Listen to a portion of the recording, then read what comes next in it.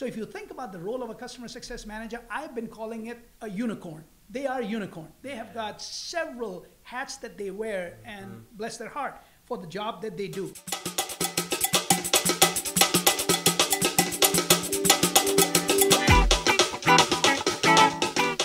Hey there, Powderkeg fans. This is episode 96 of Powderkeg Igniting Startups, the show for entrepreneurs, investors, leaders, and innovators building remarkable tech companies in areas outside of Silicon Valley. I'm your host, Matt Hunckler, and today we'll be talking about customer experience, the future of the industry, and how it's continuing to evolve, but also just what that whole startup life cycle is like with two amazing startup founders.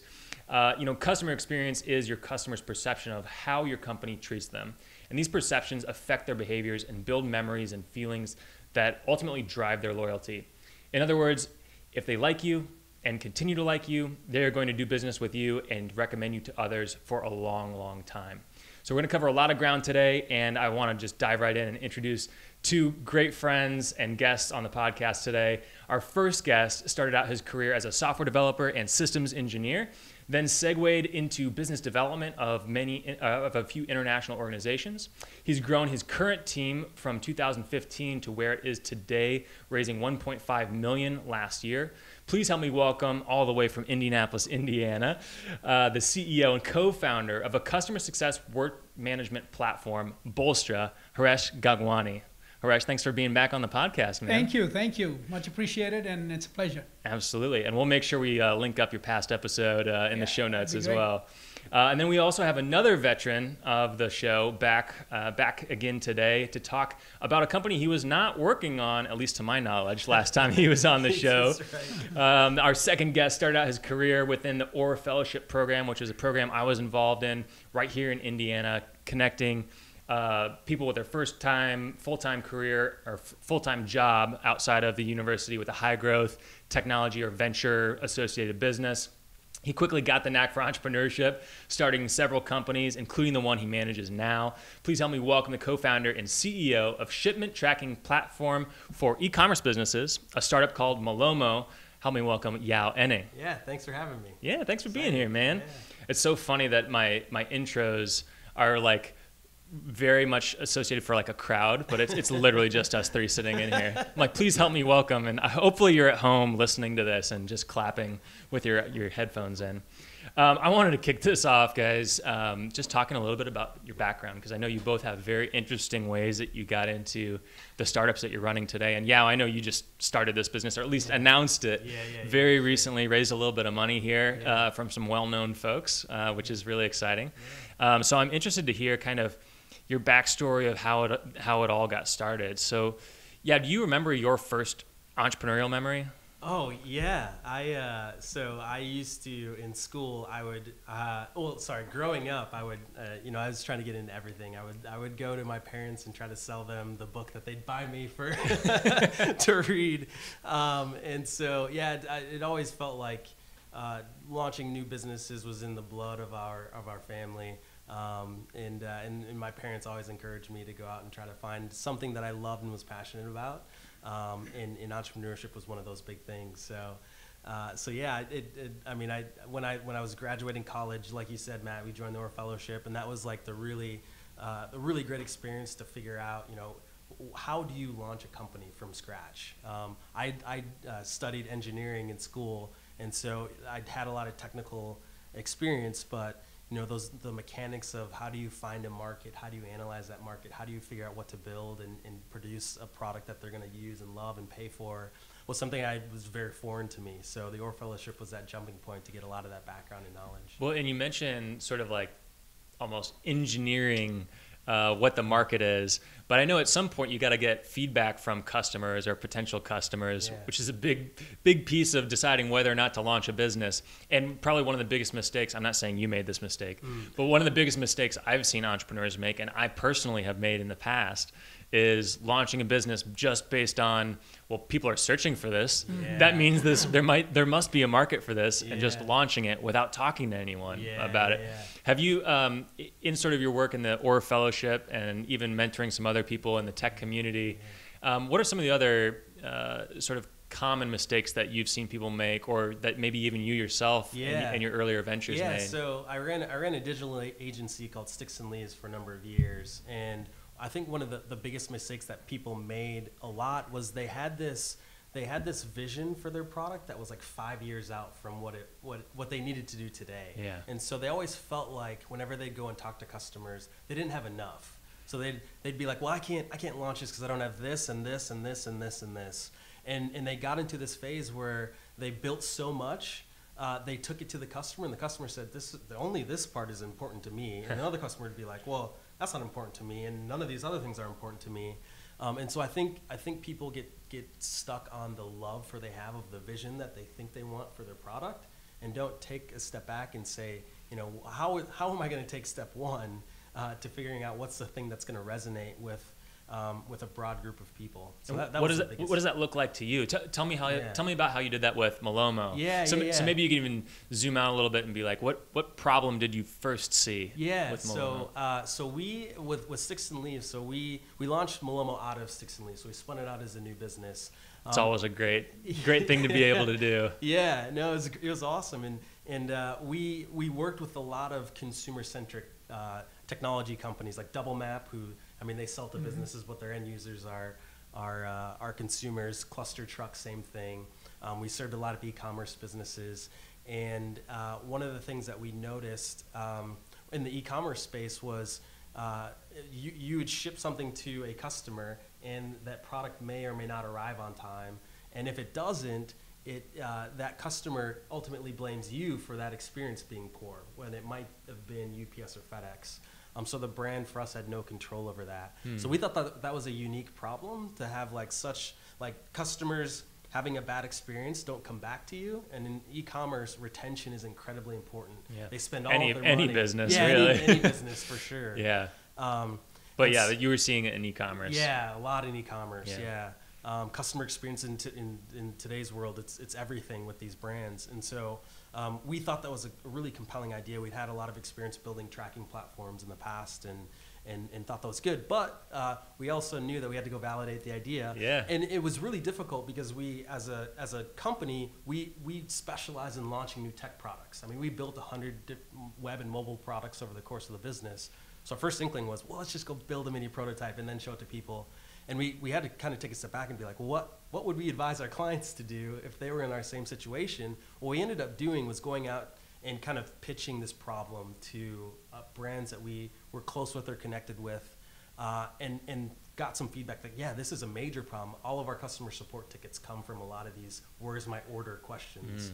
So what we ended up doing was instead of building anything, we we told them that we had this technology product that we were going to use. Uh, one of the things that we need in order to implement it is we need log into your e-commerce systems. Mm. We'd log in, we'd manually grab all of their orders, uh, grab all of the customers.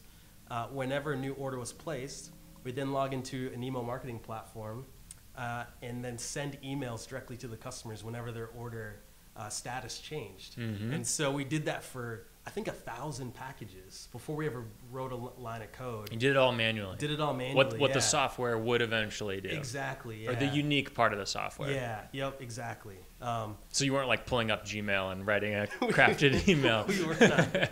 we were not. Uh, but I mean, it was close. Like, yeah, it was, pretty close. It was sounds pretty sounds close. pretty yeah. close. Yeah. Um, and so, uh, yeah, so we did that, and that's what gave us this unique insight that ended up being like the bread and butter of our business, which is customers check tracking three to five times on average, and most brands are uh, sending plain text emails that are not well timed. And so, if they could harness that attention and create a good experience for those customers, they'd be able to retain those customers over the long term.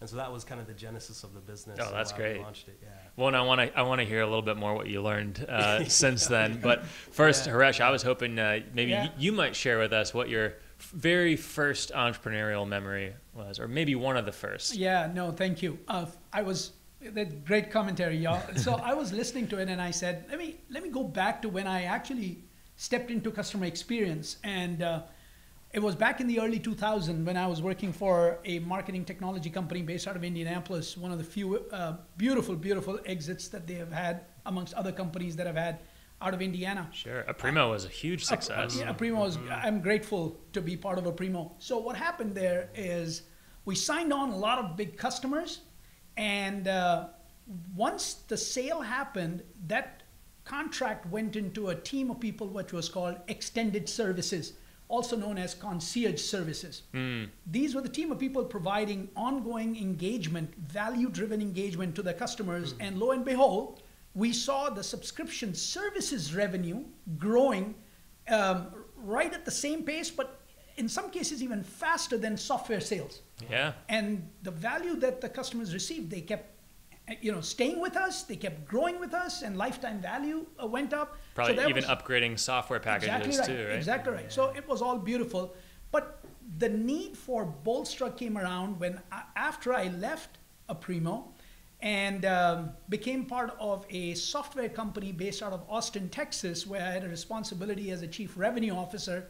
I had a team responsible for renewals Hmm. and upsells. Uh, we were traditionalists calling it account managers, but we really were customer success manager. Sure. And what happened is um, the the metrics that plagues every executive. I was dealing with those metrics which were going in the wrong direction. Our churn was high. Yep. Our negative churn, which is upsell, was very very low. Our cost of goods sold were extremely high, and our gross margins were very low. So when you looked It's at like all of that, worst case exactly, scenario. right, exactly right. Uh, the only one metric that was really really powerful was our sales metric, acquisition. So we were build, bringing on 40 to 50 to 60 customers on a quarterly basis, but we were losing companies on the back end, so we had a leaky bucket problem. Yeah. At that point um, was when I realized, reflected back on the days when we were growing customers without even a software technology. It was based on best practices and good team of people. I said, wait a minute, there's got to be an answer to that. So I called my friends back from the old days of software artistry and Aprimo, and I said, we have to build a software platform. Got the band back I was together. say the That- dream team. Yeah, I- seriously. I- and and they were they were so nice that they jumped in with me to help me build what today is a software platform that's geared towards customer success and customer experience, helping companies grow their lifetime value and retain them for life. So uh, I love that story because it touches on so many things. And, and Yeah. one of the things that I think is so powerful about what you just shared is the relationships that you maintained along the way. And in, in a lot of ways, it's a little bit of a history lesson of tech in Indiana. And I, I think it's interesting, even for, you know, this has a, pretty global audience. You know, uh, we certainly have a lot of listeners in Indianapolis, but our second and third highest listen, you know, listener population is in San Francisco and New York um, on the podcast. So for those that don't know the Indy tech community, the Indiana or Indianapolis tech community, I think it's interesting to note that most of these sort of like mid-market type of cities like Indianapolis and Cincinnati, Austin, Nashville usually can trace back to one or two i mean even silicon valley you can trace all the way back to you know when silicon chips were being produced in silicon valley. So for those that don't know do you mind maybe telling the abbreviated version of what software artistry was Yeah, absolutely. And again, I, I, I smile every time I think about software artistry because that's where uh, you call it a seed that grew into a big tree, which it is now. And there's so many branches of it and so many beautiful lots companies. of acorns fell into this uh, community So software artistry, I joined software artistry right out of college, and uh, a couple of years I did um, at another company that I was a software developer at, which was based out of Terre Haute, Indiana. Came to Indianapolis. what, what was the what was uh, the year what Uh, about about what time if you, Yeah, if you don't know exactly No, 93. 93 93, 94 okay. time frame. so early on in early the, on. yeah. And uh, software artistry had a product that sold into customer help desks as a help desk solution. So it was a Mm. call center, and we also had change management as well as um, asset management solution. So it was geared towards IT buyers. Um, that company, I was a software engineer. Then we became a systems engineering team all the way to when that company got acquired by Tivoli, IBM. yeah So I became part of Tivoli Group. Big Blue. Big Blue. It was great. Yeah. And uh, uh, my my my travels were all over the world. So I had I was a global SE for software artistry, and then Tivoli, and then I found myself to be in a very large company. yeah when I joined software artistry, it was amazing. People, were, it was a scale-up company Yeah, at that point. yeah. They'd just gone public.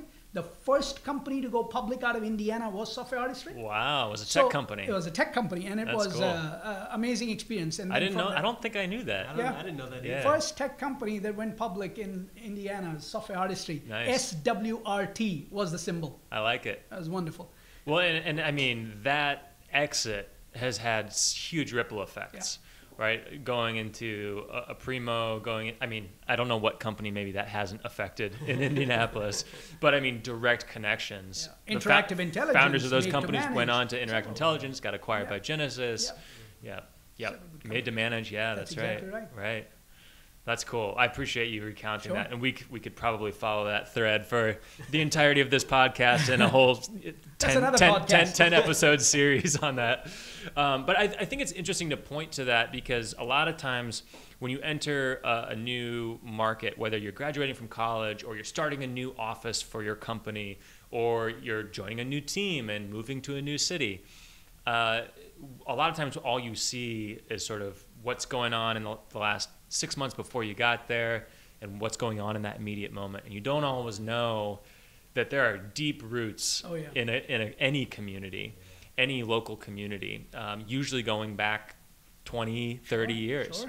sure. Um, and those things can have huge ripple effects. And the exits that are happening today, um, the, the big acquisitions that are happening, I know Rook Security re- recently got acquired here in town.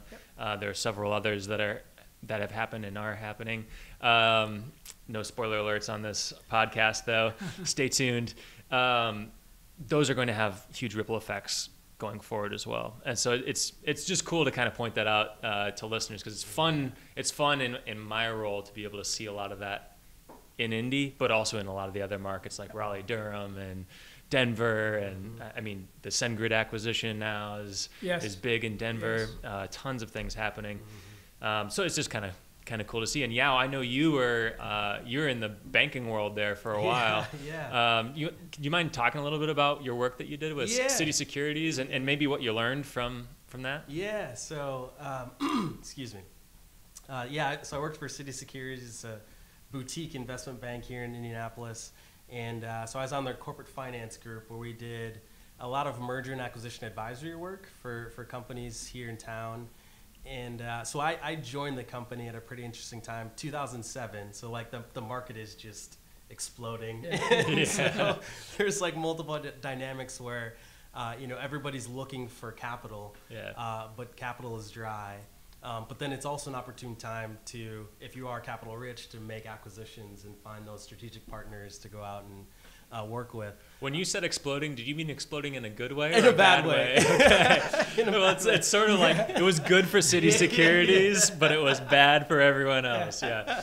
Yeah. yeah, yeah, that's a, that's a great point. Uh, um, and so, yeah, that, that time was, was pretty formative for me. Like the first year for me was just drinking from a fire hose. I, coming from engineering out of school and then going into finance was kind of a new world. Yeah. Um, so like I could probably write a book around all the Yeah, things I, totally. I learned. But um, one of the things that I found pretty fascinating was uh, just how how crucial understanding uh, like more macroeconomic factors factor into businesses on a micro scale. Oh, yeah. So uh, you you look at uh, well, I probably won't name specific companies, but there there's companies here in town when markets crash, they serve consumers, consumer spending dries up, their business has to adjust very quickly. Yeah. And so we, we you know in the business we were tasked with trying to figure out well what are the other markets that you can use to grow and find pockets of you know um, pockets of revenue that you can continue the, operating the business until that until you Yeah. go through that storm. Oh, that's interesting. Yeah, so it was it was it was a good time and um,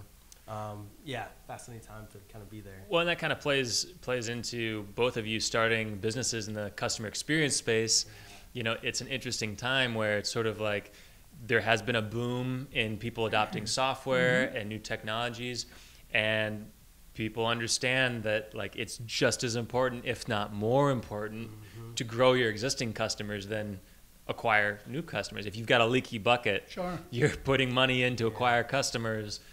If the, if the lifetime value isn't there, and even if it is there, but could be 2x or 3x what it is, Yeah. um, sometimes even more than that, depending on what industry you're in, uh, that that's a huge opportunity. So so being in a market, I guess is what I'm saying, that is ex- Yeah. is exploding in a good way. Uh-huh. That- expanding is probably a better verb, but here at Powderkeg we love the word exploding. So um, expanding in a good way um, is is pretty interesting that you both ended up in that space. Um, yeah, the examples, the example that you just gave, and, and we were talking a little bit about stats before. yeah, Um, it is amazing how uh, if if there's anybody listening to this podcast and is not thinking about having a uh, create an experience, a pleasurable experience with with value based outcomes for their customers, uh, they gotta you know smell the roses because things are not good for them. Yeah. Because right now, as as the stats goes, that ninety percent of the lifetime revenue from a customer comes post initial sale. yeah, So what you get in the beginning is only 10% of the mm. total revenue that comes mm. throughout the life of the customer. And it takes approximately, there's a rule of thumb that people have, you know, thrown some numbers that 13 cents into retention versus $1.25 to acquire a customer. So it's like, duh. Why wouldn't you focus your efforts into ex- pleasurable experiences, but with outcomes? Because the experience by itself is not the full story. You Yeah. got to deliver desired outcomes with good experiences, and that's what you should be doing right now. And, mm-hmm. and I'm glad to hear how things are happening and how this space is growing Yeah. every day. What can, can you give us maybe the the elevator pitch on Bolstra? What does Bolstra do? Yeah. So Bolstra is a software platform, and we have designed this platform for customer success managers or people who are responsible for creating those outcomes for their customers after they sign on. So think about the steps that a customer goes through once you sign them on, whether And, it's and for this is probably more of like a B two B. B2B. It's a Yeah. B2B. And so onboarding, training, uh, business reviews, uh, retrospectives, expansions, renewals, all of the stages of the customer journey that exist post initial sale, we manage it through our software mm-hmm. and with automating playbooks that prescribe what needs to be done mm-hmm. for customer success managers. I love that. Mm-hmm. I love that. Uh, and Yaw, you're on more of the B2C side. Yeah. When you when you talk to customers today, I mean, we heard your initial go-to-market of you're taking in uh, you're taking in orders and literally going into what did that turn into in terms of the platform? Yeah, yeah, yeah. So the, the platform now, it's a we're kind of like a data layer that moves data between uh, siloed products. So we our initial uh, platform connects into Shopify. So we grab order data from Shopify. We take that and we will uh, send a tracking number to a carrier like FedEx or UPS. They give us a real time stream of events happening with that particular package. And then we connect into uh, a company's e commerce platform. So you use that event data, then trigger emails to your customers, let them know where their package is in transit. Um, and so, and then once once they get that email, they click through and they get to a tracking page. And that's we, we've been telling brands that's a landed tracking page for you to build your brand. Yeah. Uh, what is the experience that you want to deliver to that customer at a moment when their emotions are very high, right? They're anxious to know where their packages they're excited. You should be using that to communicate things that make them become a lifetime customer. Uh, and so everything that we're doing is around customer experience. The interesting thing is we have we, we serve we serve two masters. So like you said, Haresh, we sell the B2B, but the end product that we have to build is B2C.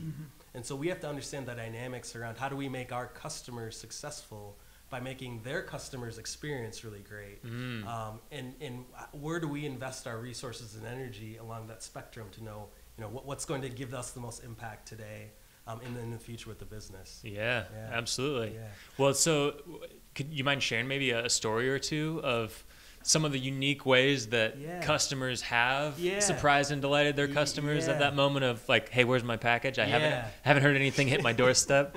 So there's a couple of ways. So one is uh, we, we can we can detect when uh, a package is, is going to arrive early or late. Uh, so I think my dog can do that too. Seriously, he loses his mind there. every Yeah. time every time a package hits our doorstep. And sometimes I swear it's like 30 seconds before the truck even Yeah. pulls up. I'm just like, how did you know that? that's awesome. But he has enormous ears, so I, I think he's cheating. That's, So sorry. yeah. No, knowing I, I really took that I on need, a I need your tangent. dog on my engineering team. Yeah, happy to help. He is pulling in no revenue right now for the for the family unit. Ah, So that's awesome. so so I'll, I'll give two quick stories. So like um, when when when when something arrives uh, late, for instance, like it's all about you probably know uh, would would like uh, have a lot more insight into this. And like so much of managing successful outcomes is expectation setting. So it's like if we set the expectation that the package is going to arrive on this date and it changes. Um, there's some anger there, right? If we didn't tell you at all and it just showed up, there might be less anger, um, but they'd still probably be frustrated because they're going to wonder when the thing is going to arrive, right? Uh, so if we set the expectation and we do not deliver on that expectation and we don't tell our customers, they're going to be very frustrated. So having those like dynamics, and if we know something's going to arrive early, let's let our customers know because they're probably sitting, probably sitting in an apartment complex somewhere, probably gets stolen off their porch. So that anxiety is there. Um, so one of our one of our not related to that, but a different different customer story. Um, we're working with a cookware brand, and they were getting a lot of product reviews that. Um, you know, people would. I didn't realize this. I, I don't. I cook, but like I'm not. I'm not a professional. Not cook to that by level. Any means, yeah. Yeah. I know how to make a mean macaroni. Uh, so uh, apparently, when you put a pot on the stove, you're not supposed to crank it on high. You're supposed to warm it on medium for two minutes. And when you crank it on high uh, to warm it up, you'll burn the pan and it will it'll be, become ruined. So they were getting a lot of bad product reviews that were like, "Hey, you said this is professional chef quality pots, but they're they're getting ruined really quickly." And so they're like, "How do we figure out how to solve this problem?" So we use the tracking page to deliver care tips. So there's four tips around how to how to season your pots and pans, how to make different types of food um, with different techniques, how to care for your cookware. Uh, so that tracking page gets uh, incredible click through rate. So you think of like a Facebook ad gets you know a, a two to three percent click through rate. Uh, they're seeing 16, 20 percent click throughs on those care related items. Wow. Um, and when the customer does that, when they go and look at those uh, those pages, they feel great about the brand. They get excited to, to use the cookware, and then they go through and make additional purchases. So That's it's great. like closing that loop around that experience is, is, is really beneficial for the brand because they're delivering on education that helps their customers be successful, and it helps the brand get longevity with that customer and possibly more revenue in those instances. Absolutely. Yeah. I love that. Yeah. I, I need to buy some new cookware, so might, might need to get the name of that brand after I, the show. I, got, I got you. Awesome, man. I, I think I, that's what happened in my last set. Was I just, you know, Saturday morning, time to make brunch. Yeah. Set it on high. I don't, I don't want to wait for this thing exactly. to heat up. needed to get hot right now. exactly. Well, and Haresh, I know you're in some ways doing a lot of the similar things, but but more on the B two B Mm-hmm. front and, and helping uh, people better utilize the software Yep. that they buy and B two B products that they buy. Um, do you mind maybe sharing uh one of your favorite examples? Sure, absolutely. I'll share two examples if that's okay. I've got several customers, but let me. I learned something from every single example. Yeah, so yeah. like like that example I'm that you just shared, yeah, Yeah. I'm already thinking, all right, how can we better help when when people sign up to be part of the Powderkeg Yeah. Uh-huh. ta- Talent and Careers Network Mm-hmm. where they're looking for the best companies to work for, you know, how do we immediately start kind of coaching them and giving them tips along the way? So Yeah. every time I hear one of these, I'm trying to translate, all right, how do I how do I apply this cookware example to Powderkeg? yeah, I love it. So the couple of companies that I'll talk about where we have engaged with them and they are our customers and how they are leveraging customer success platform uh, to deliver value to their customers. One of them is uh, a Chicago-based company. They're global, and um, I remember that when we sat down with their uh, steering committee that was uh, evaluating a solution, a software, because uh, the business of customer success, customer experience in a B2B environment is pretty high touch. It's human to human interactions. You know, it's a big business when there's a steering committee to make decisions Yeah, on absolutely. purchases too. And, and, uh, trust me, I was in a bake-off to, to win that uh, That's opportunity. awesome. So it was. It Hopefully, was a your pans experience. weren't burnt. No, no, it Yeah. was it was great. Yeah, you're talking about uh, cookware. Yeah, exactly. So we were sitting down and we said, okay, first of all, what is, I mean, you guys are growing. Um, you don't have a churn problem. So they said, we don't have a churn problem. Our customers are there. So I said, okay, if you don't have a churn metric problem, what is the problem, right? I mean, what are you looking at solution for? Number one, they said, well, we don't have a churn problem, but we have a negative churn problem. We want to grow our customers, expand our customers, and keep renewing their customer, our customers with more opportunities to sell. All And- And it just wasn't happening. The it wasn't happening. happening. It wasn't happening. Gotcha. And uh, and the reason why people weren't leaving is because they had a really good software, but they weren't necessarily growing their customers. Mm. Number two, when we found out, okay, what else is it that you're looking for a customer success, customer experience solution? And they said, our customer success managers, who are the lifeblood of our company when it comes to delivering value to our customers and value for our customers, they're living a life of a nightmare, which is friction that goes into going in six different solutions to find the details about a customer. And so there's about six hours of prep time that goes into a one hour meeting. Mm-hmm. And right there, we need a solution that brings the customer 360 view in one place for these CSMs so they can be effective and efficient in delivering value. So what would be like a, an, an example of that? If you're if you're if you're uh, this big global B two B Sure. company, Sure. what systems would you be going into Yeah, so- to, to gather what kind of data? Yeah, so the very first thing we did is we did an architecture diagram to see which systems are people going to. Salesforce was one of the systems. Sure. Um, they were using NetSuite, mm-hmm. which is an ERP system, to get data about the customer there. There was another contract management system where they were looking at contracts about the customer that they wanted to have access to. They mm. were then going into Google Sheets and Smart Sheets and Post it notes and binders mm. And their tribal knowledge to figure out what they did with the customer last time they spoke to.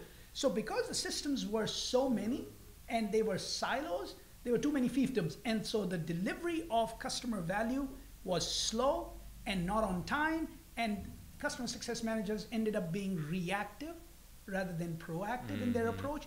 And that was the biggest need for them to look for a customer success solution. Why, why do customer success um, leaders or practitioners need to be proactive rather than reactive? Yeah, I know good. that sounds like a dumb question, but that's what I'm here for. Yeah, yeah, no, no, no, no. Very good. So I will tell you that uh, I get engaged in a lot of companies that have support services tools. Yeah. Yeah, there, there, there are many out there that you call 1 800 support desk. In a B2B world, support is traditionally looked at as firefighting because it's got, you got a problem, your screen's frozen, you got a call to make sure your system is back up again. And that's reactive support because you're waiting for people to call you. Customer success is proactive.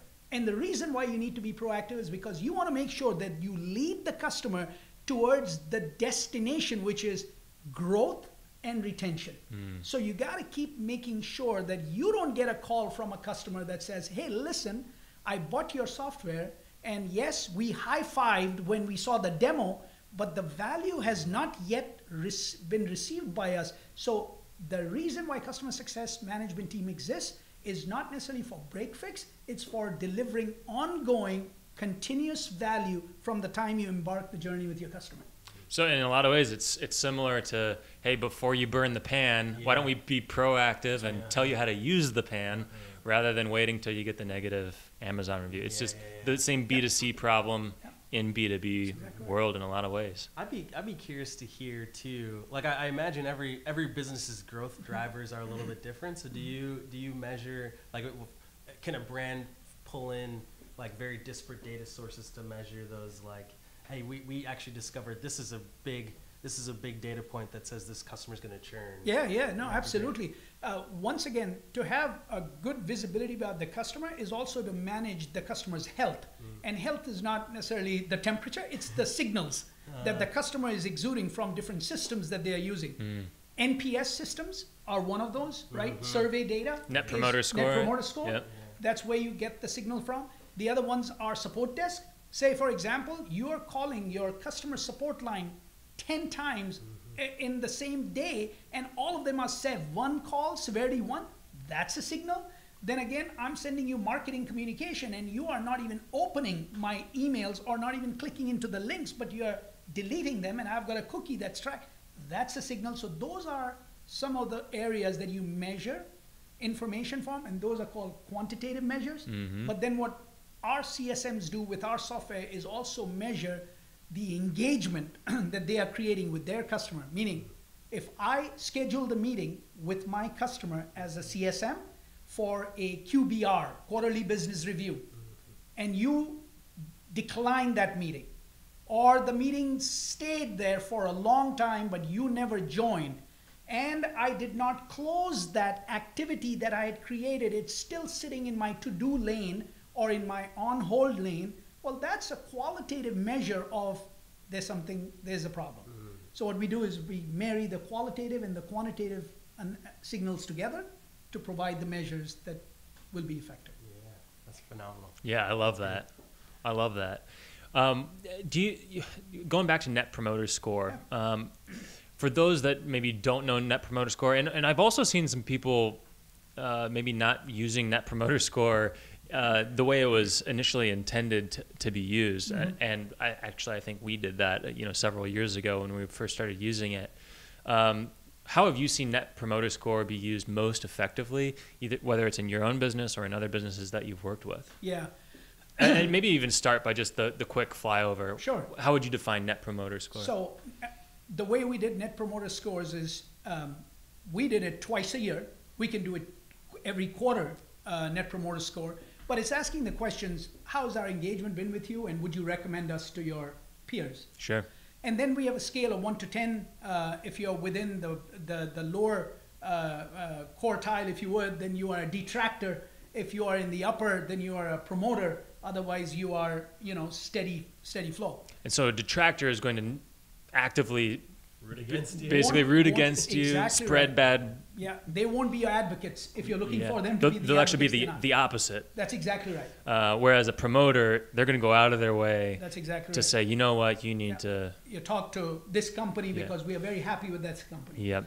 Um, now there's a gotcha in Net Promoter Scores or SAT metrics, which is also another form of uh, surveying. hmm They are lagging indicators. Yeah. right? So if I did a net promoter score last quarter, and if I'm doing it quarterly, let's say for example, my last uh, uh, quarter's net promoter score that I'm looking at the through that lens is through a lagging indicator. Yeah. What you need to do is pay attention to those because those are important. But I think what's really important is when you deliver the value, achieve a milestone, do a customer sentiment survey right at that point. So you are now tracking the information real time and you're also measuring that against with other me- variables or other measures to give a true score. Ah, I like that piece Yeah. of advice. Anything you would add to that? Yeah. I don't think I could add anything better than that. That was that was great. Haresh is the wizard of, Yeah. of cu- customer I sat. don't know about that. I'm learning. Yeah, we Uh, need to get you a wizard cloak or something. That would be pretty awesome. Well, um, as, as you guys have both grown your business, how have you been paying attention to your own customer success and customer experience? Uh, at Malomo, I mean, in the Yeah. startup world, that can be a really trying time, like in the, those early days when you're literally working with customers, taking in data manually, creating emails manually. Yeah. You know, there, there can be some lag in value delivery. And so uh, I've heard, I've heard you mention, you know, setting expectations Mm-hmm. uh, being an important thing in e-commerce. I'm guessing that probably translates to, Yeah. to your business as well. So our our our uh, our lead designer, uh, she she comes into the office every day and says we need a CSM. she's, so she, she's like, because right now it's like it's it's kind of falling on her because she like most of the services work that we do is like designing out the emails and the tracking pages on behalf of our clients. Sure, sure. and so she takes the brunt of like some of the, the feedback directly from clients. Um, so no, as an early stage company, we, we live or die by our, our early cohort of customers being incredibly happy. Like they have to, like you said, Haresh, they have to be promoters. Uh, even if they're in that like that middle ground, they, they could, that could be dangerous for us as a business because we've got to go to our investors um, and any prospective investors and, and tell them we've we've found a group of companies, we've built a product, they've gotten ROI and they're super happy, and we know there's a market that's there's incredibly more that we could find that look like this. Um, so we a lot of time uh, we spend a lot of time investing in just personal like uh, I, I think somebody told me Bill Godfrey said this like he loves assurance services Yeah. like you, Yeah. you if every month you're providing a, a like tangible service for your customers that could be like a unique report that could be insights that you can use uh, if, if you could do that every month along with the platform that you provide on a monthly basis um, you kind of I wouldn't say you put that on autopilot, but as an early stage company, you can get some assurance that they're going to renew every month. Yeah. Um, and so that's how we've been thinking about it early stage because we're like you, Matt. Like you, you probably have a very limited team. So you've you've got probably engineers who are trying to build the product, designers designing the product, salespeople selling the product, but who's making sure the customers are great? Like that probably falls Everybody. on you, yeah, like you and everybody, yeah. Yeah. Um, but who like who's the one that's talking to those customers? Yeah, who like, owns it, Right. yeah. Um, and usually it's like, well, nobody, nobody's like defined as a person they should go to um, to have those like qualitative conversations. So we've, it's yeah, it's it's kind of like a mixed bag right now, but we're very we're trying to be very intentional given the, the company and, and product we're trying to build. Yeah, it changed the game when uh, Meg, who was running content for us, were like, well, half of what we do is making sure our customers are displayed right in our content and are getting visibility. Um, we're just like, you're now the CSM, and that cha- that changed everything because she's like, okay, I own it. Yeah, yeah. Mm-hmm. And I, and now I own the NPS score, which Yes. means I own this and Yep. this, and now she's building the systems to make sure it happens. Doesn't mean she's doing all of it, but everyone knows, you know, Sheehan who's running events and Robert on the product, and you know, like all of those things kind of came together once we defined it Correct. As a function. Yeah. But it took us a while to get there. You know, there- there's that awkward stage where where you got to figure out, all right, how does this how does this get done? Yep. Yeah. Yeah, that's great. I love that that that concept of assurance services. Yeah. Anything you'd add to that, Uh, Haresh? other than the fact that everybody in our so we drink our own I, I like to call bourbon rather than champagne. And, uh, we use our own product and one of the things that we have done is first of all to have a, to deliver value it requires human the communication right? There's engagement that people are actually in the seat that are they empathize with the situation they are technically uh, savvy they understand the needs of the customer and they have a mind who which is like okay if i do this i'm going to get a reciprocity from a customer which is in the term of growth. So if you think about the role of a customer success manager i've been calling it a unicorn they are a unicorn they Yeah. have got several hats that they wear and bless their heart for the job that they do now so first of all hire the right talent uh, for the role and then don't put all of the burden on a CSM because customer success or customer experience should not be considered as a departmental issue. It's an enterprise wide philosophy. So, in our organization, our marketing team has access to our software. Our R&D team has access to our software, and of course, our customer success managers, even I have access to our software. So, if any measure dips or goes sideways or goes up, or any journey is delayed in their ability in our ability to deliver that everybody on the team knows about it and they jump in based on our automated playbooks so final point is the customer success should not be just viewed as a departmental thing it should be viewed as an enterprise wide That's good. Mm, I like that. That's good. I, I'm, I'm taking away a lot from this conversation. This is great. Make sure the whole team listens to this. Um, well, I, uh, I, I- could keep asking you questions about customer success, but I'm going to pivot just a little bit because you both have uh, your business based here in, in s- central Indiana. You've both uh, been involved with several companies here in central Indiana. What is it about this particular market that made you decide, yeah, when I start this business, I want it to be here and, and not in New York or in San Francisco or Toronto for that matter? Let you go first. I, I, I'll be happy to go. Um, for me to make a decision why be in Indianapolis and start a company in Indiana and Indianapolis is just one main reason, and that is I've gotten a lot from Indiana. Mhm. Uh, I am where I am based on the connections and based on the network that has helped me. And um, my kids were born in the state of Indiana, um, and uh, they went to school here. I love the community. I love the people. I've got great friends. Uh, even in my competitive base, when I was in the marketing automation space, and there was a lot of marketing automation companies that we were competing with, but they are awesome people. So, given the dynamics of what it gave to me, I there was no other place for me to be at but here. That's a great answer. I, I, yeah, I'd, I'd love to echo that. That's so true. Indiana's given me a lot. Um, uh, I, yeah, I was when I graduated, I was ready to go to the coast. I thought that's where that's where product Yep. development, new technology, innovation happened. And uh, and the Orr Fellowship kind of sucked me in, and, and it kept me here. And it, and then you very quickly build a network. One of the things I love about Indy is everybody is so accessible. Yep. So like you can you can have you know, a coffee with somebody who Yeah. scaled Exact Target, Yeah, uh, exactly. scaled Aprimo, scaled Exactly. Interactive Intelligence, scaled Angie's List, uh, and then you can you can also meet with people on the front lines uh, who have to wade through the trenches in a lot of different problems. Um, and so, like the accessibility and, and being able to just tap somebody when you're going through a particular problem. Matt, I called you like three or four times when I was raising my round. Uh, um, and like being able to talk to other CEOs who are at your stage or a little bit uh, ahead of you.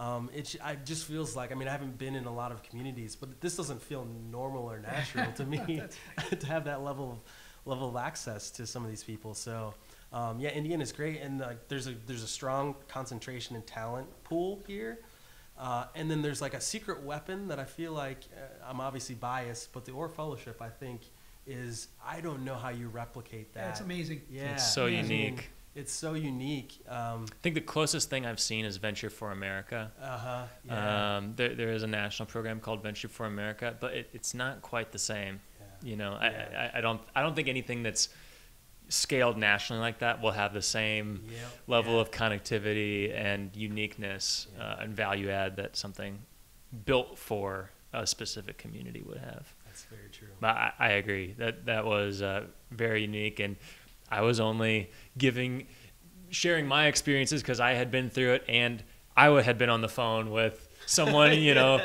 six months before having the exact same conversation. so I'm like, yeah. I gotta, I gotta share Pay this knowledge, yeah. yeah. and pay it forward. Yeah, exactly. It's like I don't true. want other people to have the same struggles that I had. So it's, so it's, um, yeah, it, it has been an awesome community. Yeah. Well, I want to thank you both for sharing your knowledge around customer experience, the entrepreneurial journey, and uh, coming back on the show uh, for a little bit more in depth conversation on this. Very much excited for your pitches on August 13th here in Indianapolis, Yes. downtown, Yeah. all focused on customer experience. We've got both of your companies as well as Genesys presenting. We've got uh, some VCs who are, or sorry, investment bankers who are going to be advisors. We're going to have some folks who are community leaders, some folks who are co-founders of companies giving feedback, and then we'll even have a number of companies exhibiting uh, there as well. So if you want to check that out, friends of Powderkeg, go to powderkeg.com slash events. Or if you are not able to make it in town and you're in Australia tuning in, you can go to facebook.com slash powderkeg. But thank you both again for being on the show. I, yeah, thank you very much. And I'm sure uh, Yaw will echo that what Matt you have done and the team at Powderkeg has done to help us not only build the foundation here but grow. And what you've done for the community is amazing. And thank you. Thanks Yeah. for the opportunity. You're a phenomenal advocate. Thank you. Sure. Well, thank you both for the opportunity to do it. Yeah. If I didn't get to do this kind of work, I don't know what I would do. It's fun.